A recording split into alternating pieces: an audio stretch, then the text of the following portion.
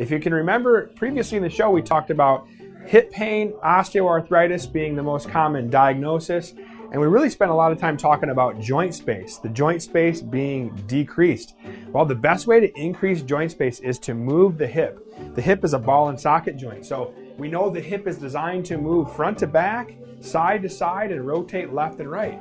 And there's a really simple strategy we can do to get the hip to move in all six directions, which will get the hip to have more joint space, more mobility.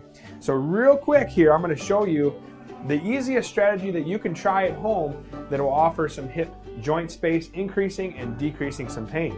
So we're gonna pretend like my right hip is the hip, it actually is the hip that needs a little bit of mobility in the joint. And so we're gonna start out by moving the hip joint front to back. You're gonna take your left leg and you're gonna step forward and you're gonna step back, okay? You're just keeping your right foot glued to the ground. So you're just simply stepping front to back, keeping your right foot glued to the ground. I usually do about 10 to 15 of these motions. Then the second motion is going to get the hip to move side to side. So you're going to take the left foot and you're going to step to the side and then cross the foot over.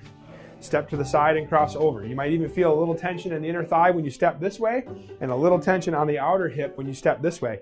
If your balance is challenged during this activity, just hold on to something.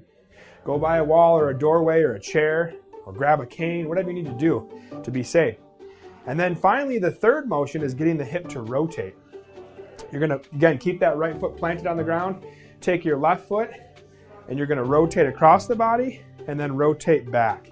Again, keeping the right foot planted on the ground. This is gonna provide a nice, easy glide in the hip joint. And if we do these every day, we will get more hip mobility, more joint space.